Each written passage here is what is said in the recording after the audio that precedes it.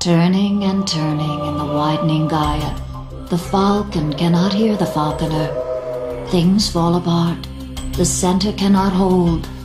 Mere anarchy is loosed upon the world. The blood-dimmed tide is loosed, and everywhere the ceremony of innocence is drowned. The best lack all conviction, while the worst are full of passionate intensity.